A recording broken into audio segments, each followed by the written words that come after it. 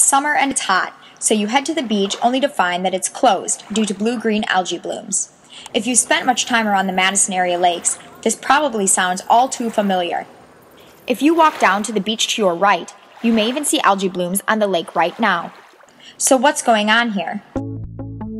The majority of the land in the Yahara watershed is used for agriculture. Although agriculture is very important to the Wisconsin economy, it is also the main source of pollution to the lake in front of you, Lake Mendota.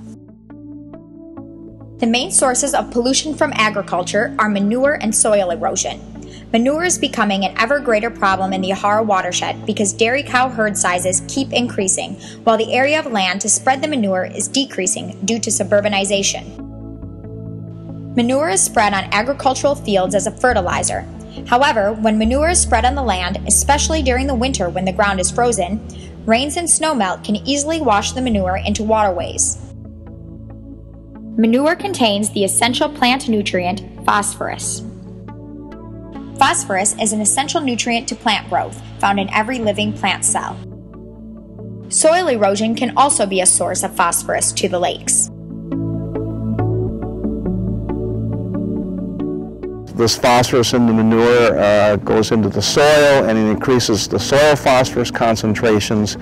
And then when we have large uh, extreme uh, runoff events, say during the spring and summer, uh, then a lot of soil erosion can occur and then that phosphorus associated with the soil will come in. If phosphorus is an essential plant nutrient, why are we so concerned about it getting into our lakes? When a large amount of phosphorus enters a lake, it can cause eutrophication.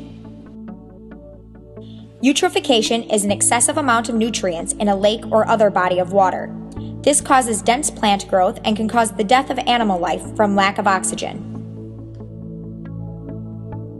One negative result of eutrophication is blue-green algae blooms. Blue-green algae is a, a, form of bacteria called cyanobacteria. Some forms of these algae uh, form scums, they float, they blow downwind. Blue-green algae can sometimes produce neurotoxins and liver toxins.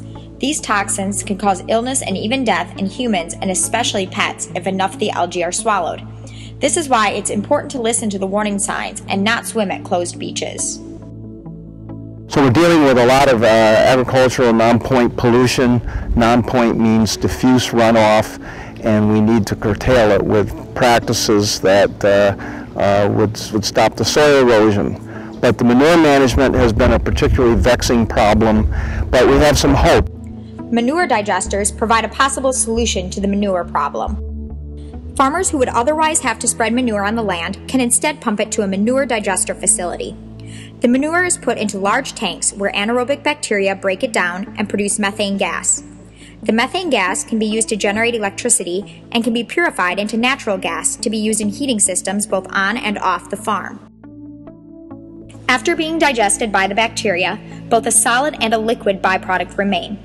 The solid byproduct contains most of the phosphorus and is often used for animal bedding. It is also added to potting soil and compost mixes, which are sold outside of the watershed, so the phosphorus does not reach the Yahara lakes.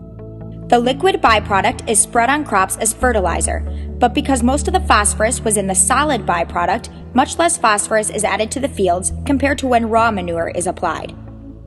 This means less phosphorus is available to run off into waterways. Our hope is, is that by a number of conservation practices to curb soil erosion and handle this manure uh, in ways that reduce the amount of phosphorus coming in, uh, the lakes will respond because we've had a long-term record of uh, the lakes with both droughts and flooding events. And when we have nutrient loads cut, uh, in the case of a drought, uh, drastically, uh, we see the lakes responding within a couple of years. So the good news is, is that if we can cut the nutrient load to the lake, the lakes will respond in positive ways. Let's talk. Investigate the beach in front of you.